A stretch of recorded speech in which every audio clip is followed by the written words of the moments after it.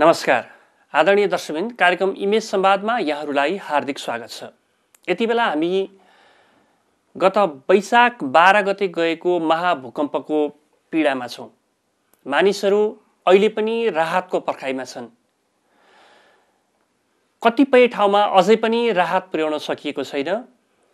देशको दुर्गम क्षेत्रहरू जहाँ सडक यातायातको पहुँच छैन त्यो ठाउँमा हेलिकप्टरबाट सामानहरू झार्नु परेको अहिलेको अवस्था छ।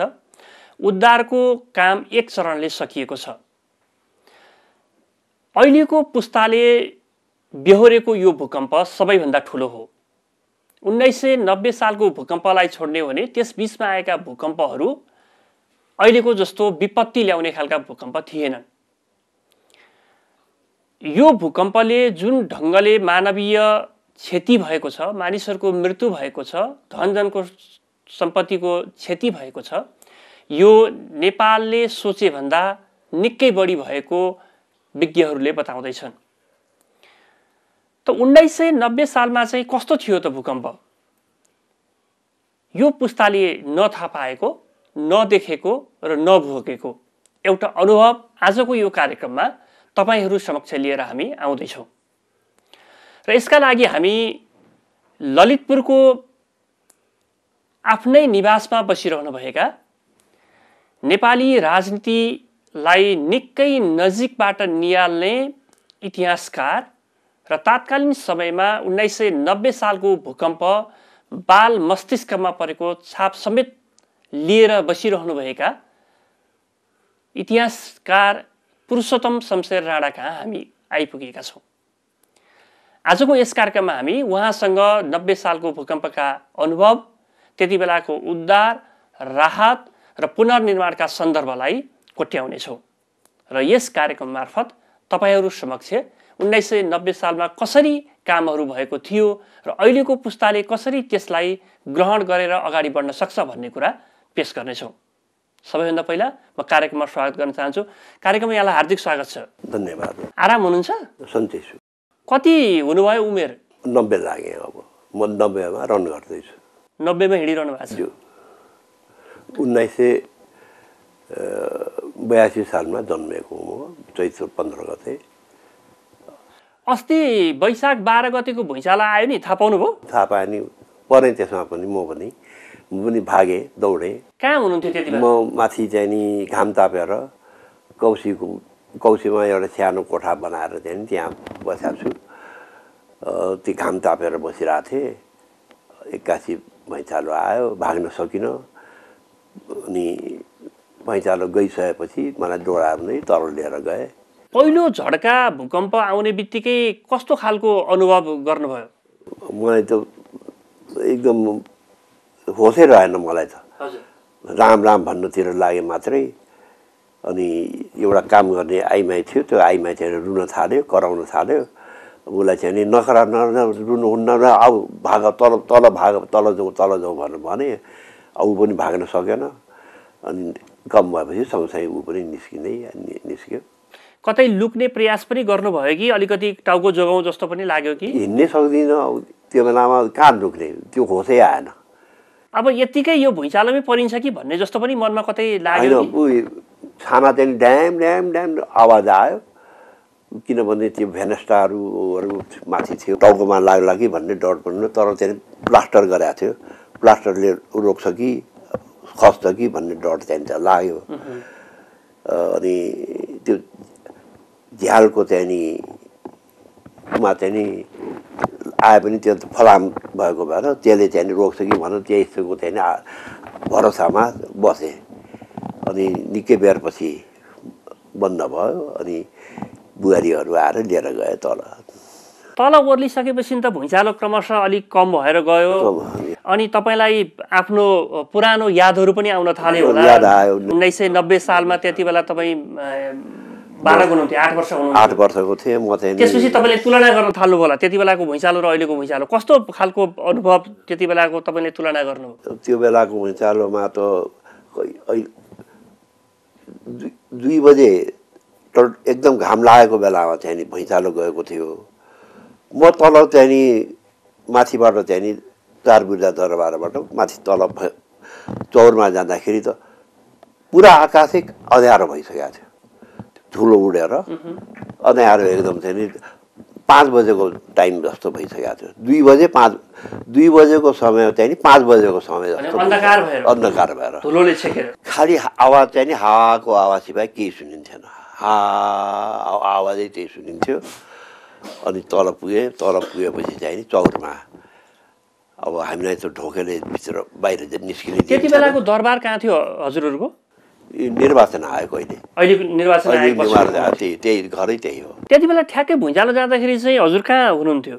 माथि बुर्जामा थिएँ। बुर्जामा। भनेको माथिल्लो माथिल्लो तलामा बुर्जामा थिएँ नि घाम तापेर ओथ्याना पल्टेर बसिरहेको थिएँ। राणाजीहरूको त त्यति बेला एउटा अनुशासनमा बस्नु पर्थ्यो। जहाँ पाएँ त्यहीँ हिँड्न पाइन्न थियो। बालबच्चाहरूलाई पनि एउटा खालको चाहिँ अनुशासनमा अनुशासन। राख्ने चलन थियो। अब तपाईँहरू त एउटा अनुशासनमा बस रहिरहनु भएको। त्यति बेला जब अकस्मात भुइँचालो आयो त्यसपछि त सबै भागाभाग भयो होला। त्यो अलिकति बताइदिनुहोस् न कस्तो? सबै भाग भाग माने अँध्यारो माने त्यो धुलै धुलोले भित्र भित्र पनि दरबारभित्र पनि धुलै सब भत्कियो नि। भित्र पनि सब भत्किएको रहेछ। त्यो भत्किएको भएर सब अँध्यारो त्यहाँ पनि अँध्यारो भयो। अब हमेसा हिँडिरहेको भएर चाहिँ नि अन्दाजै अन्दाजबाट म त बाहिर निस्केँ। बाहिर निस्किन सकेँ अन्दाजै अन्दाजबाट। बाहिर निस्केँ अब मान्छे उपर पनि लडे पनि म पनि। कोही मान्छे लडेको थियो अब को को थियो लड्ने? म पनि लडेँ। लडेर चाहिँ नि म पनि तर अब केटाकेटी आठ वर्षको उमेरलाई त्यो लडेको वास्तै हुन्थेन मजासँग गएर बाहिर निस्केँ। बाहिर निस्किँदाखेरि कसैले रोकटोक गरेन। अनि त्यसपछि मलाई त यता र उता घुम्नतिर लागेँ। अनि मेरो दिदीबुवालाई चाहिँ नि सब सिपाहीहरूले चारैतिरबाट घेरेर बोकेर लिएर आएको रहेछ। रुद्र शमशेर रुद्र शमशेर उसलाई चाहिँ लिएर आएको रहेछ। उहाँ चाहिँ अड्डामा अड्डामा राजा भएर चाहिँ नि कौशल अड्डा चाहिँ नि उहीको जिम्मामा थियो। कौशल अड्डाबाट परिवार अड्डामा।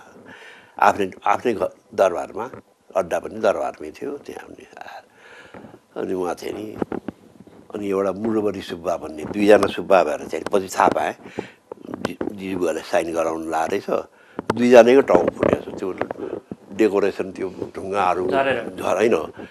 ढुङ्गाहरूको चाहिँ त्यहाँ बुट्टा सुट्टा गरेर बनाएको हुन्छ त्यो खौसी यो दला दलिनमा पनि। त्यही खसेछ र दुइटै सुब्बाहरूलाई लगाएको छ। त्यो मोडमोडी सुब्बाको त एउटाको त टाउकै फुट्यो। मैले त केटाकेटी भएको भएर त्यो रातो रगतलाई त मैले गिदी भन्न अब गिदी नै देखेँ मैले भन्न थालेँ।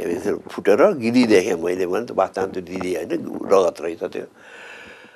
पछि चाहिँ दाम राख्न आएको थियो मुडबडी सुब्बा अनि दिदीबुवाले चाहिँ सिपाहीहरूलाई नै तिमीहरूले नै पुऱ्याउनु वीर हस्पिटलमा यो उसलाई यिनलाई भनेर पठाइबोक्या सम्म थाहा छ मलाई पछि दाम राख्न आउँदाखेरि चाहिँ कपाल सपाल काटेको दाग चाहिँ नि रहेको दाम राखेको थियो दिदीबुवालाई मुडबडी सुब्बा रहेछ त्यो। अब त्यति बेला त अब जताततै चिच्याहाटै चिच्याहाट कोलाहल होइन? अब अहिलेका हिसाबले हेर्ने हो भने पनि अहिले त अब यति धेरै जनसङ्ख्या काठमाडौँमा बस्ने भइसक्यो र पनि तुलनात्मक हिसाबमा कम क्षति मानवीय क्षति कम भ बेहोऱ्यौँ हामीले।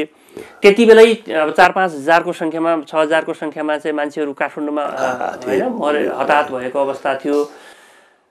त्यति बेला कसरी त्यो व्यवस्थापन कसरी गरे? अब त्यति बेला तपाईँ अब बालकै भएको हिसाबले थाहा नभए तापनि पछि त अब हजुरले अध्ययन थाहा भयो।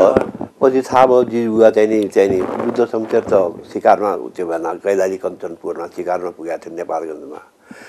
अनि एक्टिङ प्राइम मिनिस्टर भएर मेरै जिजुवा राजा भएको थियो। अनि त्यो उहाँले चाहिँ नि यो टुरी खेल छोडिदिए भएको छ जनतालाई। त्योभन्दा अगाडि चाहिँ त्यो टुडी खेलमा जानै जानै पाउँथेन जानै पाउँथेन छोडिदिए।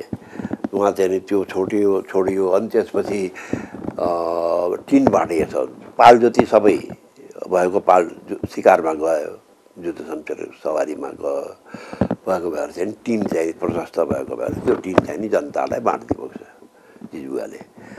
अब बस्नलाई चाहिँ नि कसैलाई चाहिँ अब टुडी खेल्न अब नजिक भएन। अब जस्तो अब असन इन्द्रचोकको चाहिँ नि केही जनता चाहिँ नि हाम्रो चार बुर्जा दरबार निर् निर्वाचन आयो त्यहाँ छोडिदिएको छ ल यहीँ बस्नु भनेर अब तिनलाई चाहिँ दुध सुध सब नि दिने चाहिँ दरबारबाट भयो अरू भाइहरू भतिजाहरू सारालाई चाहिँ नि तिमीहरूले पनि स्पेसली छोडिदिनु मैले पनि यसरी छोडेँ तिमीहरूले पनि आफ्नो आफ्नो यही बेलामा अब हेल्प गर्ने जनतालाई छोडिदिनु र चाहिँ खास गरेर दुध दुध चाहिँ बच्चाको लागि चाहिँ नि बरु आफूले नखाएर भने पनि दिनु चाहिँ नि सबैलाई चाहिँ नि हराइबक्सेको छ। अब त्यही त हो सुरु सुरुमा गर्ने। काठमाडौँको तस्बिर चाहिँ कस्तो देखिया थियो अरे त्यति बेलाको भूकम्पले क्षतिग्रस्त भएको काठमाडौँको तस्बिर अलिकति बताइदिउँ न। दररात जति सबै त मारा देराजका दुईजना छोरी पऱ्यो साजादीहरू परे केटाकेटी साना साना जुद्ध शमशेरको पनि नातिहरू परे भन्ने चाहिँ नि सुनियो त्यो बेलामा दु जुद्ध शमशेरहरू पनि परे। तर यहाँ हाम- हाम्रो चाहिँ चार बिर्जा दरबारमा चाहिँ नि कसैलाई केही भएन। उही।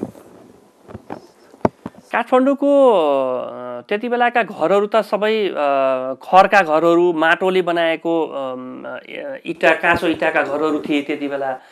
त्यति बेला त त्यसले त धेरै नै क्षति पुर्याएको जनताको धेरै फोनी धेरै जनताको।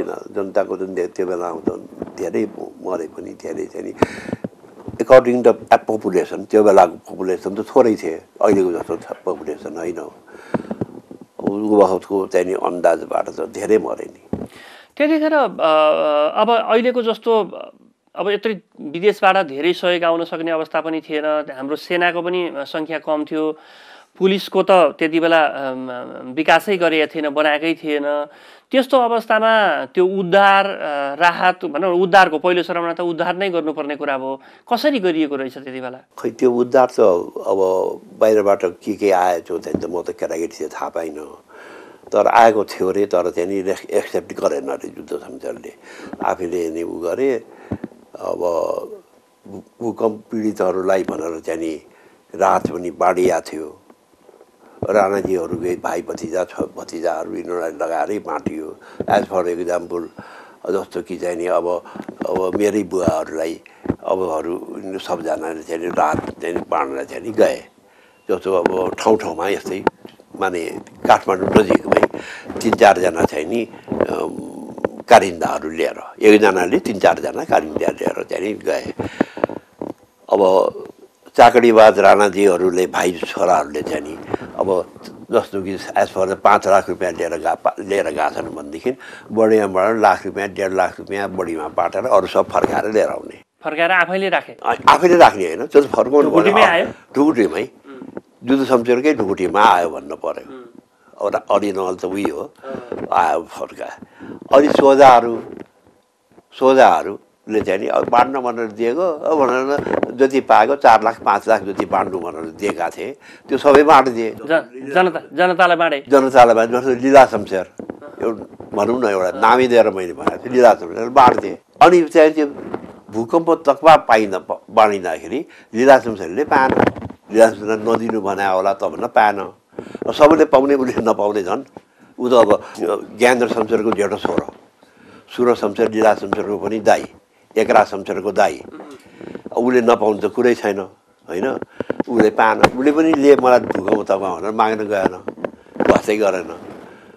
त्यो तिन चार महिनापछि उसलाई चाहिँ नि ल जुद्ध जुद्ध शमशेरले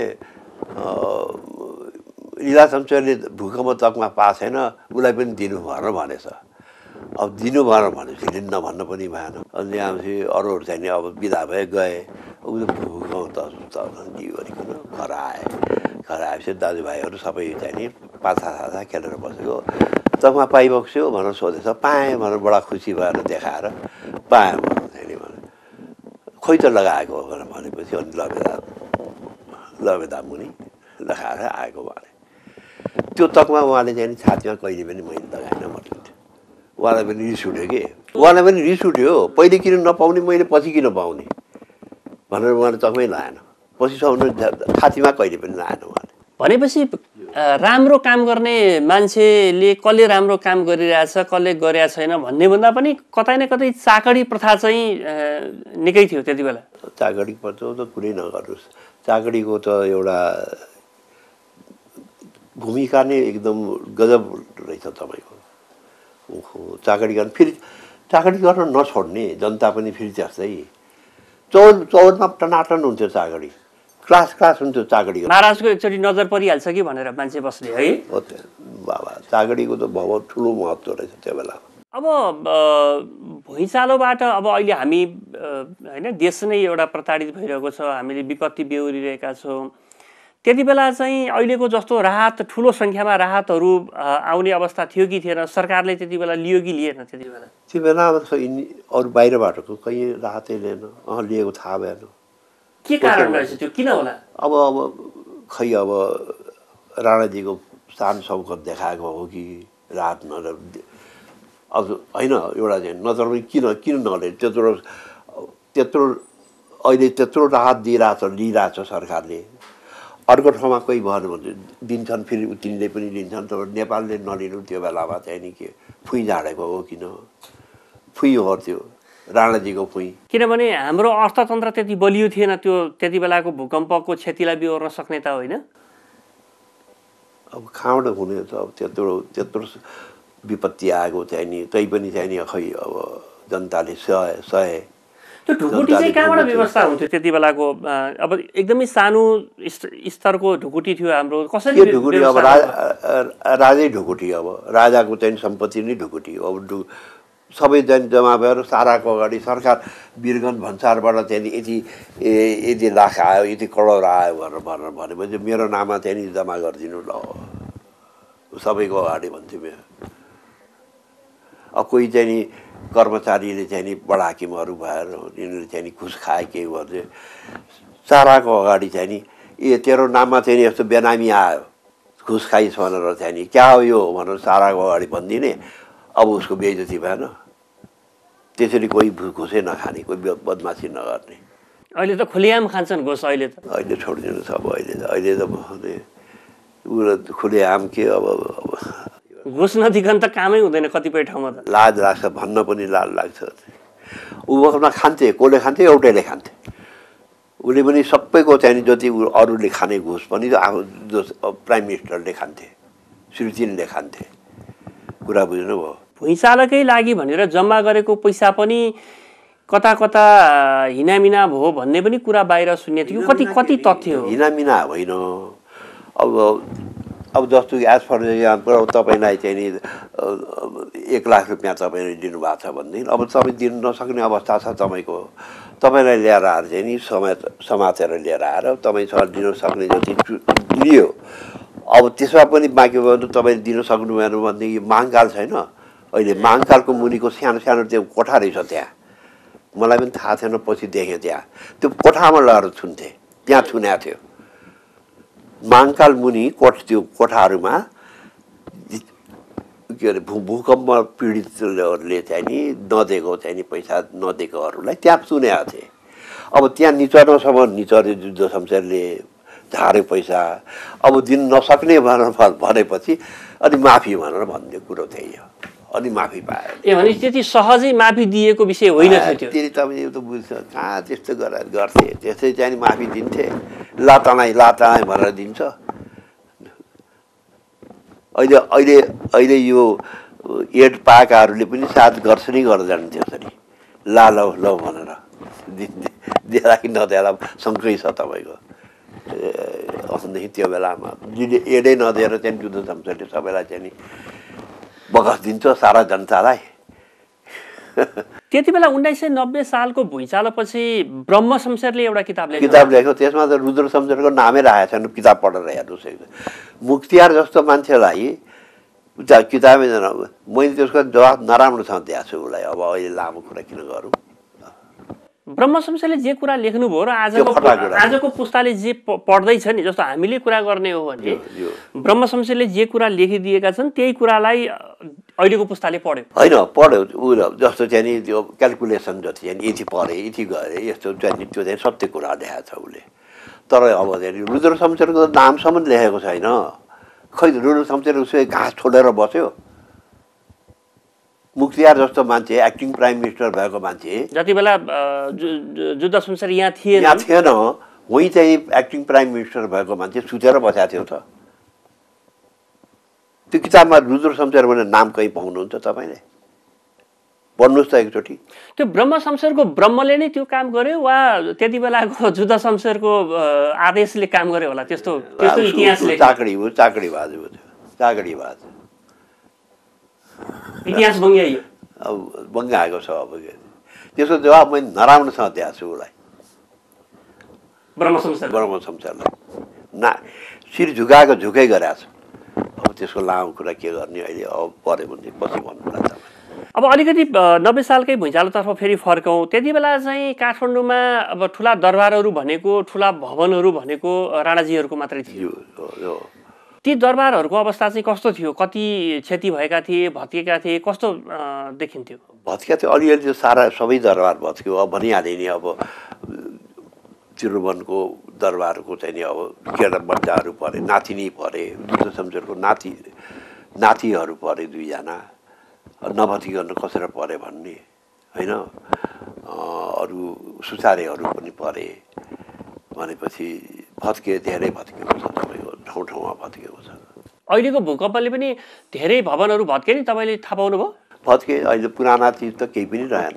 पुरानो दरबारहरू र त्यहाँनिर मन्दिर पौवा यिनीहरू त सबै सब चाहिँ भत्के सब। खास गरिकन मल्लकालीन लिच्छवीकालीन पार्टी पौवा र सम्पदाहरू त करिब सबै ध्वस्त भएका छन्। अब यो बनाउन कि बनाउनु नहोला अब यो। अब पुरानै अवस्थामा त्यही हिसाबले बनाउन सकिन्छ कि सकिन्न भन्ने एउटा प्रश्न छ तर जापानले केही सहयोग गर्छु भन्ने कुरा गरेको छ सायद अब त्यसरी केही बन्न पनि सक्ला दरबारहरू राणाजीहरूले बनाएको दरबारहरू धेरै क्षतिग्रस्त भयो होइन। अब रहन्न त्यो त्यो सबै अब सिकन्दरबार पनि भत्क्यो भन्ने सुनेको। थिएँ मैले चर्केको सबै त भत्केको छैन तर चर्केको छ। कि पार्ट त्यही त चर्केको छ भने चर्केपछि त्यसको चाहिँ नि भ्यालु गइहाल्यो जहाँ चर्क्यो त्यसको केही अस्तित्व गयो कमजोर भइयो कमजोर भएकोलाई चाहिँ मान्छे डराउनै भयो त्यति बेला जुद्ध शमशेरको समयमा जुन भुइँचालो नेपालले बेहोर्यो त्यति बेलाको शासन पद्धति शासन गर्ने जुन अब हामीहरूले सुने अनुसार हाम्रा बुवाहरूले भनेको सुनेको अनुसार चाहिँ निकै कठोर हुनुहुन्थ्यो जुद्ध शमशेर शासन प्रणालीमा। अझ यस्तो सङ्कटको बेलामा त केही कठोर निर्णय लिन सक्ने क्षमता भएको मान्छे पनि चाहिन्छ भनेर भन्थे। त्यस्तै हुनुहुन्थ्यो जुद्ध शमशेर? करोड त मान्छे चाहिँ नि हकी चाहिँ नि हकी हो। यसो गर्ने भनेपछि चाहिँ नि त्यो चाहिँ नि माने चाहिँ नि गरी गरी छोड्ने मान्छे हो।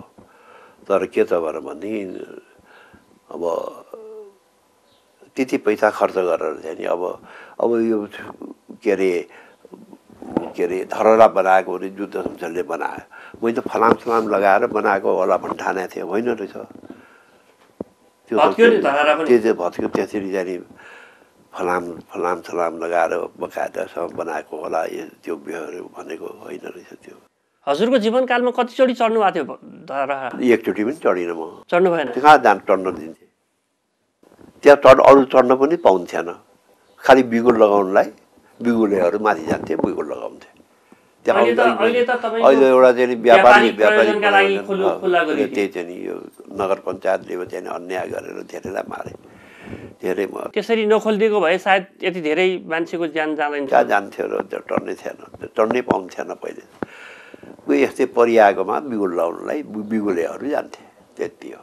त्यति बेला दुनियाँलाई चाहिँ के राहत सुविधा चाहिँ के दिइएको थियो?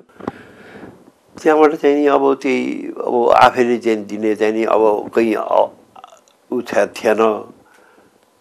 राहत दिने भन्ने के भएको थियो भने के थियो र राहत? कहाँबाट के दिने? उही घर घर पछि घर सबैले दिने नब्बे सालको दिन बिस दिनपछि जुद्ध सम्झेर आयो सिकारबाट त्यो पनि यहाँबाट अरू त्यहाँ राजो नहुन्न भनेर तुरुन्त आउनुपर्छ भने भएर चाहिँ आयो जुद्ध सम्झे बिस दिनपछि बिस दिनपछि भैँचालो गएको बिस दिनपछि आइपुग्यो सिकारमा कहाँ हुनुहुन्थ्यो उहाँ त्यति बेला कैलाली कञ्चनपुर कैलाली कञ्चनपुर अब अहिलेको जस्तो सूचना तपाईँको चाँडो चाँडो पुर्याउने कुनै माध्यम पनि थिएन टेलिफोन पनि थिएन कसरी त्यो यहाँको सूचना त्यहाँसम्म भुइँचालो गयो भन्ने कुरा कसरी पुग्यो? यो रक्सोलबाटको चाहिँ टेलिफोन गरेर चाहिँ रक्सोलबाट चाहिँ खबर पाएको रहेछ। नेपालीमा नेपालमा पनि भुइँचालो गयो भनेर भन्नेसम्म त्यहीसम्म जुटो सम्झिले पाएको रहेछ। त्यसपछि चाहिँ उसले नि न्युज कति पनि पाएको रहेनछ।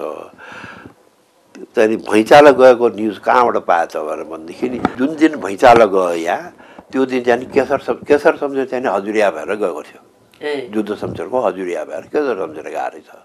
त केसर शमशेरको के अरे श्रीमती शाहजादी जेठी शाहजादीले चाहिँ नि एउटा झटपट के लेखेको छ भने यहाँ त भुइँचालो गयो हाम्रो घर पनि बिग्रियो। मालधीराजको पनि के अरे दुईजना चाहिँ नि शाहजादीहरू परे। हरू धुमधामको भैँचालो गएको छ हाहाकार भएको छ जनताको धेरै नोक्सान भएको छ। माने जनता पनि धेरै चाहिँ नि बिग्रियो। यति मात्रै लेखेर चाहिँ नि एउटा चाहिँ नि आठपटियालाई घोडा चढाएर टाँगन घोडा दिएर चाहिँ नि ल भनेर पैसा सैसा दियो भनेको रात गरेर चाहिँ नि पुग सवारीमा भनेर भनेर पठाएछ उसले। अब ऊ गयो घन्टा दुई घन्टा भैँचालो गएको दुई घन्टापछि।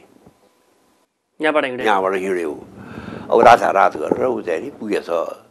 दुई दिनपछि पुगेछ ऊ।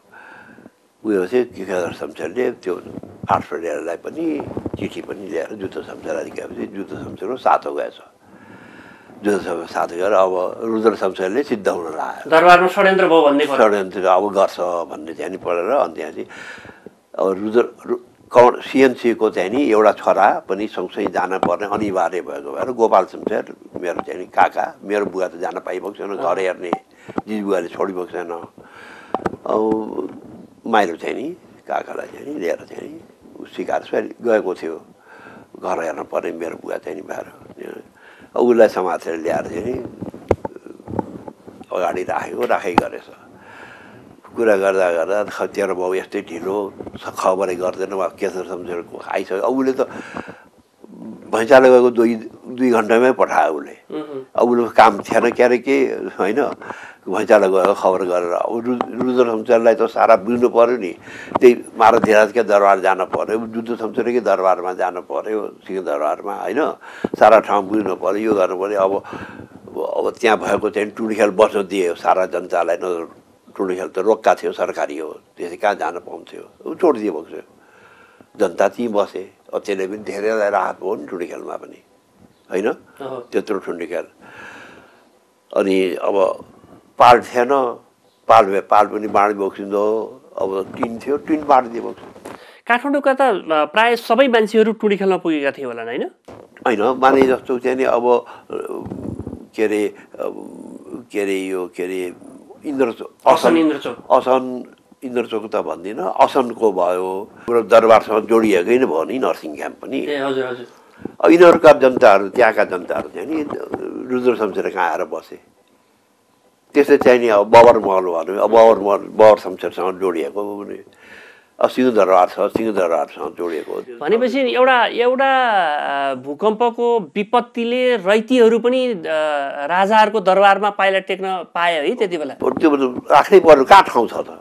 ठाउँ दिनु पर्यो नि उनीहरूलाई पनि। किनभने त्यति बेला त रैतीहरूले प्रजाहरूले महाराजको तिर फर्केर हेर्ने पनि सक्ने अवस्था थिएन नि। भित्र पस्नै पाउँथेन। भित्र पाउँथेँ पाउँथेन प्रकृति भन्ने कुरा चाहिँ सबैलाई समान गरिदिँदो रहेछ है। यो समान त हुँदै हो हेरेर ल्याएर ठुलो काटेर सबै उयो रगत तपाईँ हाम्रो सबै चाराको होइन लमन नब्बे सालको भुइँचालो गएपछि त्यो भुइँचालोले राणा शासनको जग पनि हल्लाइदियो। किनभने धेरै समय राणा शासन अरू लम्बिन सकेन। अब हल्लायो भन्नु पर्यो अब किन सत्र वर्षपछि त देश देशबाट राणा शासन हामीलाई अब मेरो जिजुबुवा पपुलर भएर सरी भयो उहाँले के गरिबक्स्यो भनेदेखि कोही अब मिलिट्रीकाहरूलाई पनि अफिसरहरूलाई मेरो नि बाउ मऱ्यो आमा मऱ्यो भन्नेलाई छुट्टी दिने कि नदिने। भैँचालो पऱ्यो आमा पऱ्यो बाउ पऱ्यो भनेपछि छुट्टी दिने। अब पद्म शमशेर मोहन शमशेर बाहुट शमशेरको नि यिनीहरूलाई चाहिँ नि अब दिदीबुवा त पपुलर भयो। पपुलर भएको देख्न सकेन यिनीहरूमा जलन भएछ। भएपछि पद्म शमशेरलाई लाएर पद्म शमशेरले चाहिँ के भन्यो भने दाई अब यिनीहरूलाई यसरी छुट्टी बक्स्यो भनेदेखि त यिनीहरूले त अब सबै जान्छन् सबैले छुट्टी माग्छ जान्छन्। यसरी छुट्टी बक्सिन् त मनासी पर्दैन त यहाँ कोही पनि हुन्न भनेर भनेछ। बुवाले पनि बुझिहाली बक्स्यो होइन? बुझिबक्सेर ल एउटा काम गर तिमी जङ्गी लाठ तिमी जङ्गी लाठ भएपछि जङ्गी काम चाहिँ नि तिमीले गर अबदेखि भनेर नि उसैको मामा छोडिदिए बक्स्यो अब उसले कसैलाई पनि नछोड्ने। भन्न त्यहाँ जनतामा अब अब रुद्र शमशेर भइदिए पो छोड्थे। अब यो यो यो यो यसले किन छोड्थ्यो यसले भनेर चाहिँ उसको चाहिँ नि बदनाम हुन थाल्यो। त्यसैले पनि यो सब मिलेर चाहिँ नि चाहिँ पाल्पा चाहिँ के अरे माघमा भैँचालो गयो माघ दुई गते होइन? माघ फागुन चैतमा त हामीलाई हटाइहाल्यो नि। त्यसले पाल्पा पठाइदियो नि। त्यो नब्बे सालको भुइँचालोले सहरको त कुरा हामीले यो गऱ्यौँ गाउँतिरको चाहिँ के खबर थियो नि? मलाई चाहिँ त्यो गाउँतिर चाहिँ के पनि अब केटाकेटी आठ वर्षको उमेरको मान्छेलाई के थाहा तपाईँको? के के गर्यो त्यो चाहिँ मैले यही गरेको चाहिँ त्यही हो पैसा दिन चाहिँ पठायो नदिनेलाई त उहाँ पाएन। त्यही चाहिँ नि थाहा छ तपाईँको। जसले पैसा साँच्चीकै पाएन पछि पाए उसलाई न रैतीलाई नदिकन फर्काउनेहरूले चाहिँ पाए तपाईँ अब यति लामो अनुभव तपाईँको उमेर सबै कुराले संसार पनि देख्नुभयो। नब्बे साल बेहोर्नुभयो बहत्तर साल बेहोर्नुभयो। अहिलेको शासकहरू अहिलेको शासन पद्धतिमा जाने मान्छेहरू अझ तपाईँहरूको परिवार त प्रजातान्त्रिक पद्धतिको लागि लडेको परिवार। अब अहिले प्रजातान्त्रिक पद्धतिबाटै आएका शासकहरू छन्। उनीहरूले यस्तो सङ्कटको बेलामा जनतालाई कसरी काम गरून् कसरी चाँडोभन्दा चाँडो सेवा पुर्याउन् पुनर्निर्माण गर्ने कुराहरू कसरी गरून् भन्ने सुझाव दिन चाहनुहुन्छ? यही कि चाहिँ बुद्धि खुलोस् यिनको। यिनलाई चाहिँ नि पैसा जम्मा गर्नतिर नलागुन् यिनीहरू होइन पैसा भनेको दुई हातको मैल हो। होइन किनभने यस्ता पैसा उहाँहरूले पनि कति खर्च गरे कति उडायो होला।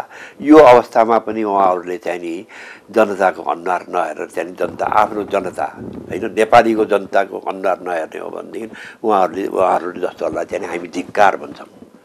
हामी धिक्कार छौँ उहाँहरूलाई।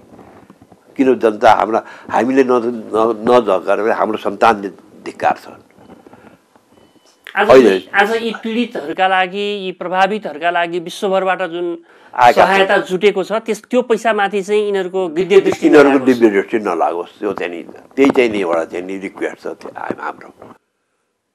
जनतासँग चाहिँ नि नेताहरूसँग चाहिँ नि हाम्रो यही छ। त्यो चाहिँ प्रशस्त छ। काफी दिएका छन् यिनले। यो ओहिरेको रहेछ पहिला अहिले पैसा ओहिरिरहेछन्। अझ माग्यो भने दिन्छन्। जरुरत छ पर्छ भने। तर विश्वास जगाउन सक्नु पर्यो विश्वास दिलाउन सक्नु पर्यो। सक्नु पऱ्यो कि अब दिएका छन् पाइ पनि राखेका छन् लिए पनि राखेका छन्। कति त त्यहाँ नि प्रधानमन्त्री कोषमा जम्मा भइसकेको छ होइन? अझ कति जम्मा गर्ने हो कति गर्ने हो कति आउने हो अझ? आउँदैछन्। मेरो नातिनीहरू आउँदैछन् अझ अमेरिकाबाट। एड लिएर आउँदैछन् उनीहरू आफै पनि आठ नौजना। धन्यवाद आजको इमेज समाजमा तपाईँले आफ्नो अनुभवहरू बताइदिनु भयो यो उमेरमा यो समयमा पनि हामीले भन्ने बित्तिकै राजी भइदिनु भयो हामीले दुःख दियौँ तपाईँले समय दिनुभयो। तपाईँलाई हार्दिक धन्यवाद दिन चाहन्छु। यहाँको सम्झना गर्नुभयो। बडा खुसी लाग्यो। आजको दिन यस्तो चाहिँ सङ्कटको दिनहरूमा चाहिँ नि बोल्न पाएँ आफ्नो मनको कुरा राख्न पाएँ। त्यसैमा चाहिँ नि यहाँलाई चाहिँ खुसी लाग्छ। धन्यवाद।